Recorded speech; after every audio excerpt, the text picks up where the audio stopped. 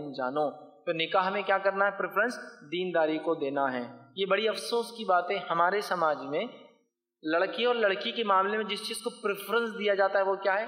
لڑکی کے لیے خوبصورتی اور لڑکے کے لیے انکم یہ بس پریفرنس کتنا کماتا ہے لڑکا ہے تو لڑکی ہے تو خوبصورت ہے کیا؟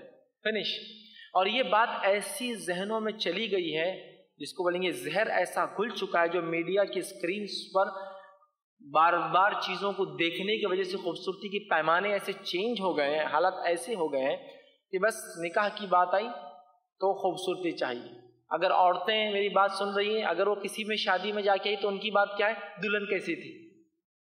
بہت خوبصورت تھی۔ فنش؟ ہو گیا؟ ہاں بس۔ کچھ نہیں، اس کے آگے پیچھے دینداری، اس کے، اس کی اس کے اخلاق، وہ کہ کچھ نہیں، بس خوبصورتی، بیس ہے۔ بھائی میرے جو ہے بچے کے لیے لڑکی چاہیے۔ کیسی لڑکی چاہیے؟ بس خوبصورت ہو۔ او ہو سبھی دنیا خوبصورتی کے پیچھے لگی ہے دینداری تو انشاءاللہ آخر میں دیکھا جائے گا۔ کچھ ہمارے